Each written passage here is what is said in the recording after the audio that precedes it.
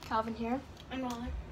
And today, you guys, That was an awkward intro. yeah, that really was. Okay. But, um, you guys hopefully saw Fidget Cube versus Fidget Spinner. And today we're doing another one of those things.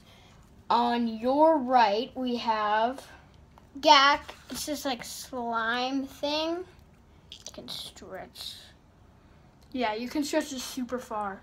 And on the left, we have Glow Dough Rainbow. Let's open that It up. basically just feels like the same thing. Yeah, they're basically the same thing, but this is like in a rainbow color, Wait, can I try? and try you definitely cannot stretch it much without it ripping.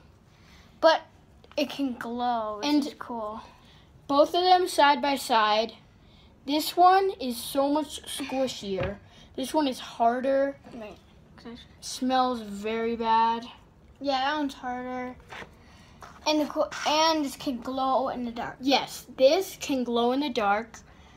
We can do another clip of showing you that. But we want you guys to let us know if you liked the glow dough rainbow or the Gak. so we're going to show you the glowing. So we don't know actually if this glows at all.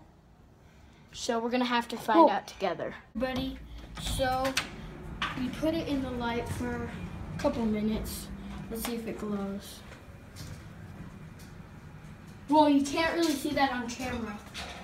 But this definitely glows. Can I see it? You literally can't see this at all on camera. Here, let's open it up the door more. It glows. See, look at that.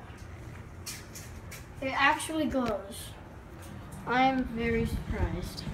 But that's it for the video. I hope you enjoyed. And let us know, do you like the rainbow dough or the Gak? Personally, I like the look of the rainbow dough, but the, I like the Gak better.